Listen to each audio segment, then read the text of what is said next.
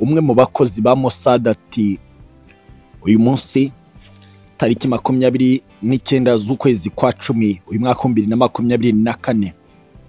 Birashoboka ko twari kuba tuvuga izindi nkuru zitandukanye n'ibiri kuvugwa mu isi ko abagize guverinoma yose ya Isiraheli biciwe mu gitero cya drone bikozwe na Irani ya Ayatollah Ali Khamenei. Kubera ko amakuru yageraga kuri Shinbet yerekanaga neza ko hari umugambi wo kwica. Kuri uyu wa mbere abagize kabineti bose ba Isiraheli bari kwicirwa muri ofisi za minisitiri w'intebe aho bari bari mu nama.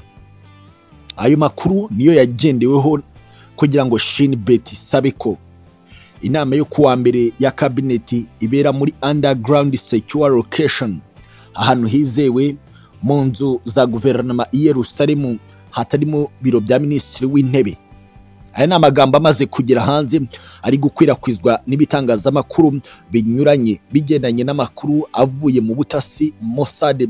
Kuri umwe mu babugize wemeye gushyira hanze amakuru y'impamvu ku munsi w'ejo wa mbere inama ya kabineti yagombaga kuba itagombaga kubera i Tel Aviv cyangwa se muri Yerusalemu ariko mu biro bya minisitiri w'intebe Benjamin Netanyahu kubera ko Shin Bet yari yamaze kugwa ku makuru agaragaza ko hari ibitero bya drone biraza kugabwa mu buryo buteye ubwoba. Kuri ofisi za Prime Minister wa Israel Benjamin Netanyahu. Iyi ni inkuru ejo twabagejeho yari iteye ubwoba. Ariko kandi hari amakuru agira ati icyemezo cyo kugira ngo kandi ibyo bigende gutyo ni uko hari hamaze kuzamuka ubwoba mu bakuru mu butegetsi ndetse n'igisirikare cya Isiraheli ko uku kwihuriza hamwe n'ubundi kw'abagize guverinoma barimo abasiniya Israeli officials ari ikintu cyakombaga gutera ubwoba. Kuko nyuma y'igitero cya drone cyatatse urugo rwa Benjamin Netanyahu ikaselia hatangiye kugendwa runono kw'amakuru aganisha ku mpamvu ibyo byose byari byamaze kumenyekana ngo Benjamin Netanyahu ari mu rugo ngo Hezbollah ihatake. Ibyo ni byo bahereyeho maze basanga no ku munsi w'ejo wa mbere. Ibintu byari kuba bibi cyane. Amwe mu makuru yatangajwe kandi avuga ko bamwe mu bagize guverinoma ya Benjamin Netanyahu babwiye ibinyamakuru ati ntabwo uyu munsi abayobozi bakuru b'igihugu batekanye. Irani twamaze kumenya ko idashaka gusubiza mu buryo buhubutse mu buryo bwari busanzwe ahubwo irani ishaka kugaba igitero ku bayobozi hafi ya bose bakuru bahise kugira ngo base n'abaca intege imitegekere ya Isiraheli y'uyu munsi. Aya ni amakuru y'umwe mu bagize guverinoma ya Isiraheli wabwiye bimwe mu bitangazamakuru aya makuru ariko yirinda ko amazina ye ajya mu itangazamakuru. Hari amakuru avuga ko bamwe mu baminisitiri bavuze mu gitondo ko badashaka icyemezo cyo kubasaba ko bataza kujyana abajyanama babo mu nama ya kabineti yagombaga kuba ku munsi w'ejo wa mbere. Ariko amakuru avuga ko hari drone eshatu zagaragazwaga sinyare zazo mu bice bikikije Yeruzalemu ndetse n'izindi esheshatu zagaragazaga ko zikikije ibice bya Tel Aviv. Ariko kugira ngo sinyare y'izo drone bayifate byari byakomeje kugorana. Ari na yo mpamvu byabaye ngombwa ko iyi nama yo kuri wa mbere ngo ikorerwa munsi y'ubutaka muri underground secure location ziri muri Yerusalemu umujyi mukuru wa Isiraheli ariko kandi hari amakuru y'ingenzi anasobanura neza avuga ko mbere y'uko umunsi w'ejo ugera n'ubundi Irani yari yamaze kugaragaza ibimenyetso byo kuza gukora mu bwonko bw'abategetsi bo hejuru ba Isiraheli kwa Benjamin Netanyahu kugira ngo bamuhemukire bikomeye bakamwicana n'ab'ingenzi mu butegetsi bwe. Bamwe mu batavuga rumwe n'ubutegetsi bwa Isiraheli kwa Benjamin Netanyahu Yair Lapid yagize ati birashoboka ko noneho bwa mbere icyemezo kirinda Isiraheli cyafashwe cyo kwanga ko inama nk'iyi ngiyi ibera ahantu muri Yerusalemu rwagati cyangwa muri Tel Aviv rwagati kuko byari kuba bibi cyane. Aya ni amagambo akomeye cyane ava kuri ya ritikire tuvuga ko ikomeye cyane. Ariko kandi reka twinjire kuri ritikire z'akasamutwe zikomeye. Ubu isi iracyababazwa cyane muri iki gitondo yaba mu gice gisatira. Inyanja ya mediterane mu gice cy'amajyaruguru ndetse n'igice cy'amajyepfo. Amakuru reka tuyahere mu mujyi wa ashkelon uri mu birometero mirongo itanu. Uvuye i tel aviv biravugwa ko drone bitaramenyekana. Uwayirashe yikubise muri uyu mujyi wa ashkelon kandi ko ari akaga kamaze kugaragara ko kamaze kuzamuka cyane. Amakuru y'ibitangazamakuru bikomeye agira ati drone bitaramenyekana aho yinjiriye muri uyu mujyi wa Ashkelon imaze kubabaza uyu mujyi uri ku cyambu cy'amajyepfo asatira uburengerazuba hakaba mu burasirazuba bw'inyanja ya Mediterane. Ntabwo igisirikare cya Israel kiragira byinshi gitangaza ariko amwe mu makuru aravuga ko ibyakozwe n'iyi drone na byo biteye ubwoba nubwo ubutegetsi bwo bwatangiye buvuga ko nta nkomere zabonetse kubera iyi drone. Gusa hari amwe mu mashusho avuga ko iyi drone ishobora kuba yarashwe n'umutwe w'abarwanyi wa Hamasi cyangwa se Hezbollah. Mo kimwe. Gusa hari n'andi makuru avuga ko radari za Israel zabonye iyi drone ariko yamaze kugera mu gikorwa bikavuga ko yavaga mu gice cy'uburasirazuba bw'amajyepfo. Ikaba yoherejwe n'umutwe w'abarwanyi b'abahuti nubwo bitaramenyekana cyangwa se ngo byemezwe n'ubutegetsi bwa Benjamin Netanyahu. Uko kubabaza Ashkelon muri iki gitondo biraganisha ku kuvuga ko Israel iri mu kaga gakomeye dore ko hari n'andi makuru ava mu gice cy'amajyaruguru y'iki gihugu mu mujyi wa Nahaliya aho ibintu bimaze kuba bibi cyane kubera drone yasohotse mu majyepfo ya Liban ikaza guteza ibibazo bikomeye kuri sitasiyo ya gari ya moshi ya Nahaliya. Amwe makuru avuga ko hari igice kimwe cya gari ya moshi cyangiritse cyane bikomeye. Ubu amakuru asohoka mu butegetsi bwa Israel by'umwihariko mu ruhande rw'igisirikare biravuga ko igisirikare cyatangiye gukora iperereza kugira ngo hamenyekane icyo ari cyo cyose. Gusa bivugwa ko intabaza ziburira abaturage kujya ahatekanye zatangiye kumvikana drone yamaze kugera mu gikorwa cyayo. Hano neza kuri sitasiyo ya gari ya moshi ya Nahaliya amwe mu makuru y'ingenzi atangazwa n'igisirikare cya Israel Defense Force agaragaza ko iyi drone ikubise muri Nahaliya ari imwe muri drone nk'iyabashije kugwa mu kigo cya gisirikare cya Haifa mu cyumweru gishize. Ese koko byaba ari ibiki biri kuba mu gihe Hezbollah ibigaragaza ko ikomeje kunaniza byakasamutwe ubutegetsi bwa Benjamin Netanyahu amwe mu makuru y'ingenzi aravuga ko ibiri gukorwa n'umutwe w'abarwanyi ba Hezbollah muri Nahaliya mu gice cy'amajyaruguru ya Israel bisa no kubwira ubutegetsi bwa Benjamin Netanyahu ati wagaragaje ko ufite imbaraga zo kurwana ariko turahari kandi buri kimwe cyose kigomba gukorwa mu buryo twifuzamo birasa naho ibintu byamaze gukomera cyane. Nk'uko amakuru y'ingenzi atugeraho abivuga ariko kandi ku rundi ruhande twinjiye mu gace ka Nahaliya hari amakuru aturukayo akomeye cyane ari gutangazwa n'ibitangazamakuru bikomeye. Ati nibura abantu batandatu nibo bishwe nubwo ubutegetsi budashaka kubivuga bukavuga ko habayeho ukwangirika kw'igice kimwe cya gari ya moshi yari iri kuri sitasiyo ariko hari inkomere zabonetse nizo bari kuvuga. Reka tuvuge ko iki ari igitero gikomeye kandi kimennye amaraso kuri ubutaka bwacu bwa Nahaliya mu gice cy'amajyaruguru y'iki gihugu. Aya ni amakuru ava ku soko y'amakuru y'aho ibyo bintu byabereye. Gusa hari n'amakuru aganisha ku kuvuga ko mu gihe umujyi wa Ashkelon na Haliya bimaze kuraswaho muri iki gitondo ari ubundi butumwa bukomeye cyane ku butegetsi bwa Benjamin Netanyahu. Ni nyuma y'ibindi bitero bivuzwe ko byakozwe muri iki gitondo n'igisirikare cya Benjamin Netanyahu byo kurasa ku bice birimo inkambi z'impunzi mu majyepfo ya Libani bigasa nk'aho Hezbollah ibaye nk'ihorera amaraso yamenywe n'ubundi. N'indege z'intambara za Israel mu gice cy'amajyepfo ya Libani ariko igice gisa n'igisatira uburengerazuba bw'amajyepfo ya Libani bikavugwa ko ibi bikorwa bya drone muri iki gitondo bya Hezbollah bisa no kubwira Israel kugenza make ku kurasa ku nkambi z'impunzi cyangwa se muri rusange ku basivile b'inzirakarengane. Nk'uko amakuru y'ingenzi atugeraho abivuga ariko kandi ku rundi ruhande reka twambuke umupaka twinjire muri Tehran mu murwa mukuru wa Iran. Amwe makuru y'ingenzi atugezeho aravuga ko ibitekerezo bikomeye by'abategetsi bo hejuru yaba mu buryo bwa politiki n'igisirikare ba Iran ari ugutegura igitero cyo kubabaza byanga bikunda kandi igitero cya nyuma. Israel ya Benjamin Netanyahu amwe makuru yageze muri undercover w'ibinyamakuru bitandukanye birimo nk'ikinyamakuru Iran Press agira ati birashoboka ko ukwikora mu nda kwa Benjamin Netanyahu kwari gushoboka ubwo inama y'abaminisitiri yari kubera muri ofisi ze.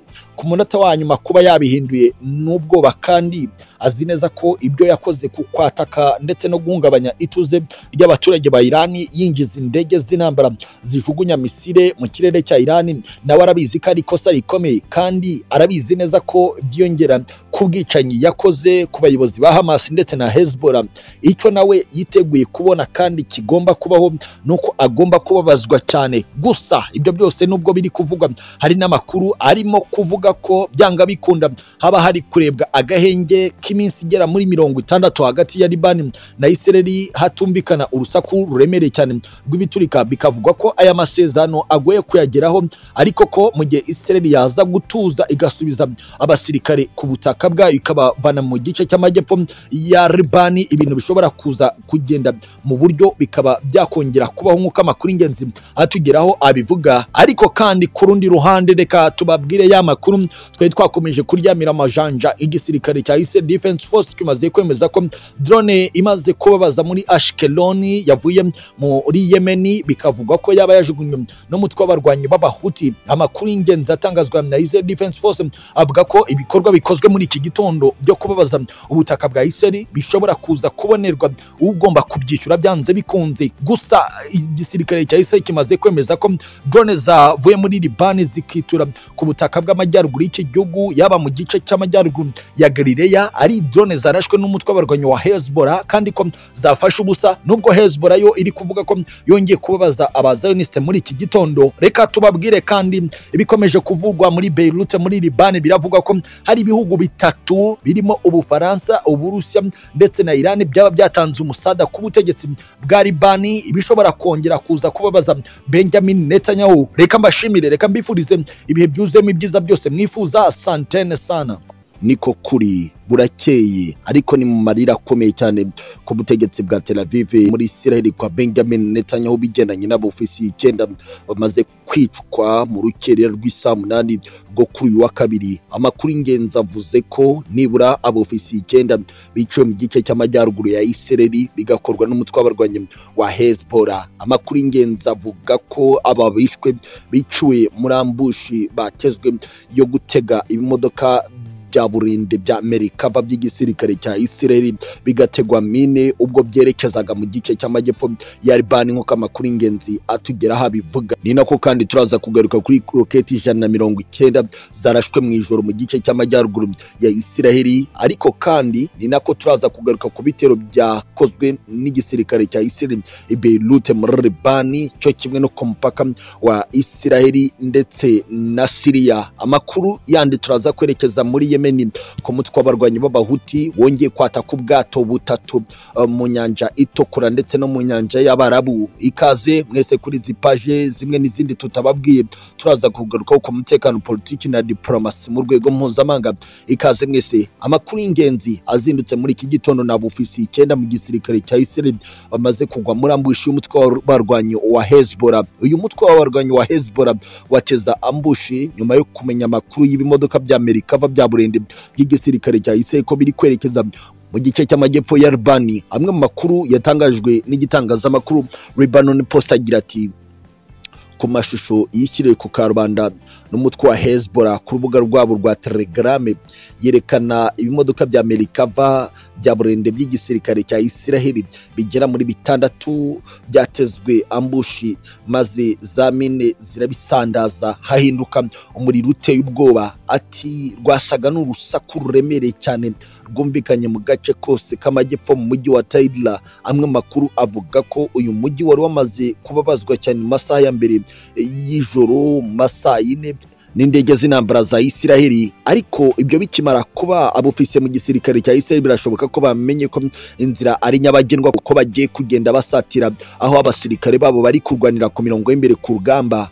Mu kwizera umutekano maze bashora mu nzira ibimodoka bya Amerika va by'igisirikare cya Isiraheli ari nako abasirikare b'abarwanyi ba Hezbollah nabo bateza mbushi igendanye no gutega za mine mu nzira yari iri kunyurwamo n'ibyo bimodoka bya Amerika va niko kwisanga byamaze kugwa muri ya mbushi byose birasandazwa. Abofisi icyenda mu gisirikare cya Isiraheli bishwe bivugwa ko ari bari bafite mu biganza byabo kuzana amayeri mashya ku mirongo y'imbere ku rugamba ndetse no gutanga amategeko agomba kubahirizwa n'abasirikare ba isiraheli ndetse bikavugwa ko abangaba ari bo bari banahetse itumanaho ryose ryakoreshwaga ku mirongo y'imbere ku rugamba mu gisirikare cya isiraheli kiri kurwanira mu gice cy'amajyepfo ya libani. Amakuru yasohotse mu mutwe w'abarwanyi wa hezbollah kandi ashimangira agira ati umwanzi tumukuyeho umutwe mu bitero yari yatangiye gukora.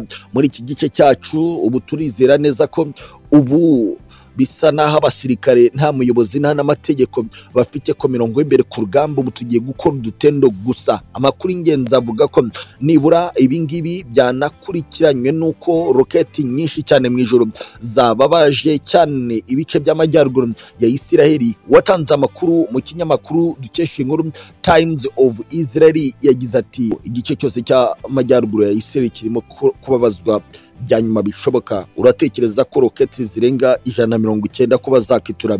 Mu gice cy'amajyaruguru biteye bite? Reka tubivuge kubera ko nibura ibisasu bigera muri mirongo itandatu biri kurasirwa icyarimwe bikaba nk'aho ari imperuka iri kwinjira mu gice cy'amajyaruguru kigenzurwa na isiraheli. Amakuru y'ingenzi avuga ko nibura muri iri joro rikeye nubwo ubutegetsi bwa tel aviv budashaka kuvuga igihombo bwahuye na cyo ariko ko nibura uburyo ba bateraga intambwe mu gusatira ahari guturuka misire n'ibi biroketi bya hezbollah. Atari ko byakozwe kubera ubwoba bw'uko bashobora gutwikwa n'ibi bimisire byakomezaga kuraswa mu gihe amakuru yagaragazaga sinyare y'uko abasirikare ba isitedi bari mu birometero bike. Amwe mu makuru y'ingenzi yatangajwe n'ikinyamakuru gikomeye cyane Jerusalem Post agira ati ibikorwa biri gukorwa n'igisirikare cya hezbollah mu gice cy'amajyepfo ya libani bikagira ingaruka mu majyaruguru ya isiraheli birasa naho atari imbaraga zo ku butaka zishobora guhanagura ibyo byose. Dukeneye indege z'umusada ngo zize zitwike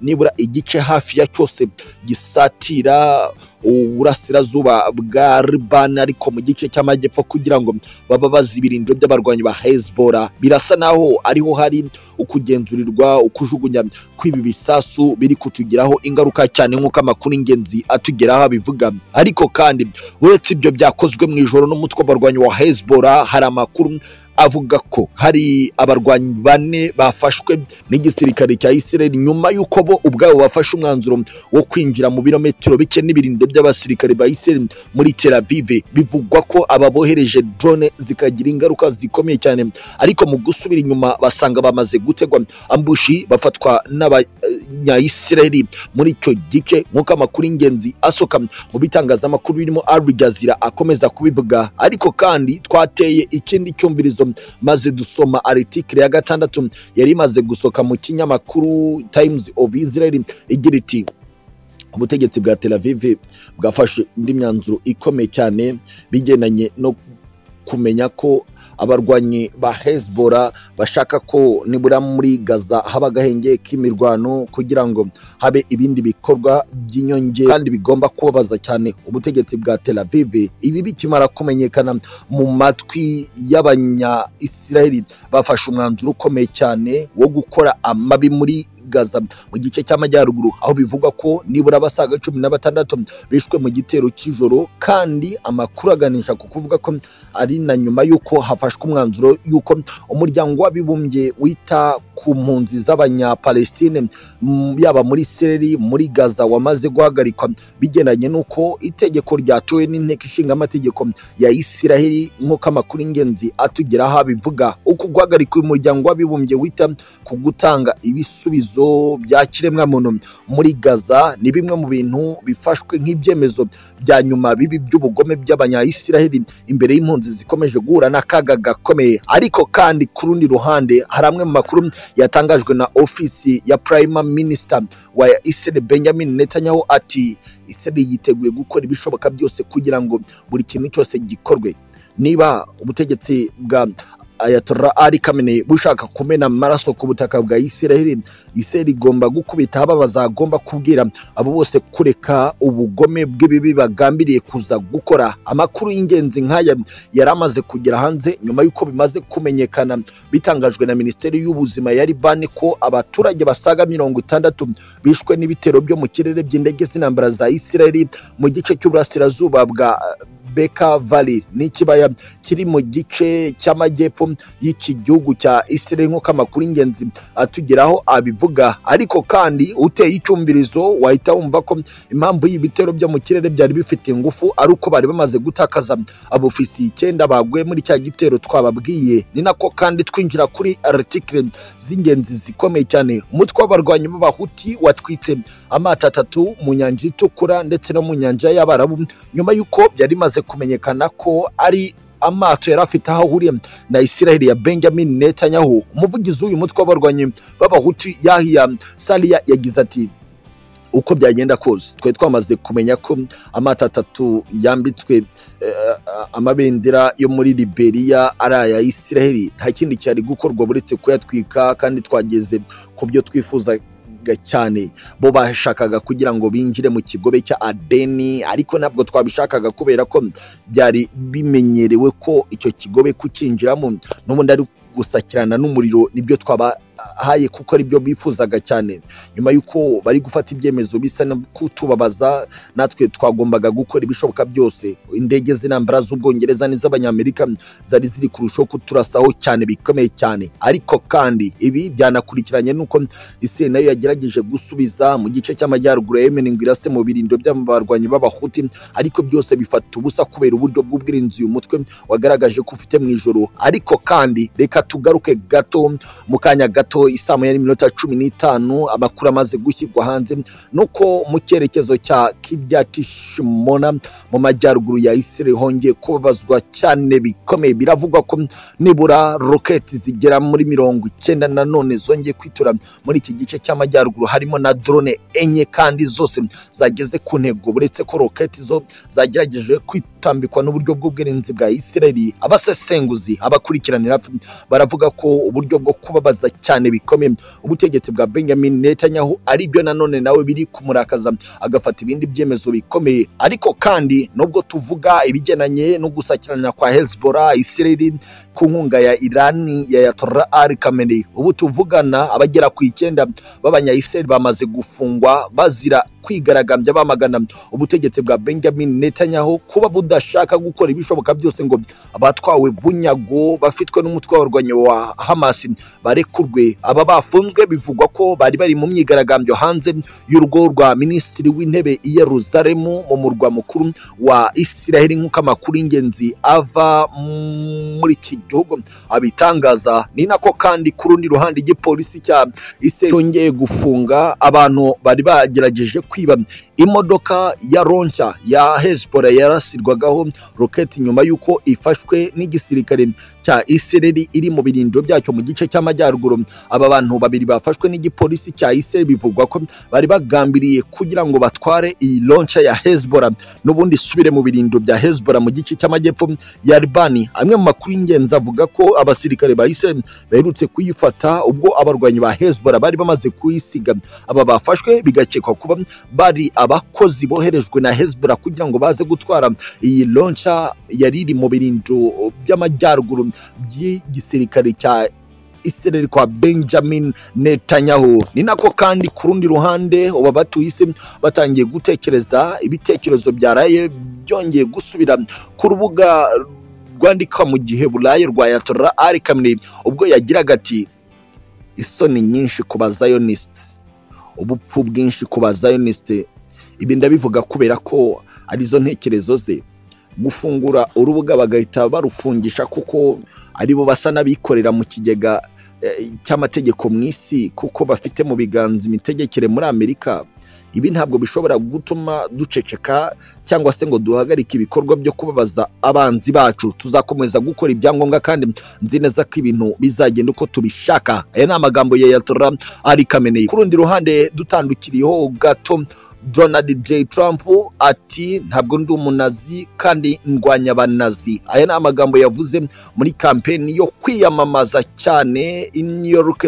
Nk'uko amakuru y'ingenzi avayo atugeraho abivuga. Ese kubera iki umugabo atangiye nawe kugaragaza amagambo akomeye cyane? Ese yaba ari uburyo bwo gutanga ubutumwa ko azashyigikira Israel nawe mu ntambara na Iran? Gusa amwe mu makuru aravuga ko Mossad yamaze kumenya. Amwe makuru avite Iran muri Iran ko mu gihe ubu hari gutegurwa igitero cya irani kuri Israel haba hamaze kumenyekana amakuru ko irani yaba iri gushaka gukoresha intwaro kirimbuzi ngo irimbure. Byanga bikunda Israel ya Benjamin Netanyahu ariko ikibazo gisigaye barimo barabara ibigendanye n'ibihombo bishobora kuba ku bihugu bituranye na Israel birimo Yordania, Arabia Saudite, uh, Syria, Liban kugira ngo batekereze uburyo bazatanga indishyi z'akababaro kuri ibyo bihugu mu gihe cy'imyaka igera muri mirongo itatu mu gihe barasa intwaro kirimbuzi zo gusenya bidasubirwaho. Israel ya Benjamin Netanyahu gusa aya makuru nubwo amaze kugera hanze twavuga ko ari amakuru ashobora kuba ari guhimbwa kuko mu gihe Iran na yo yakoresha intwaro kirimbuzi ntabwo yiteguye kuba yakemura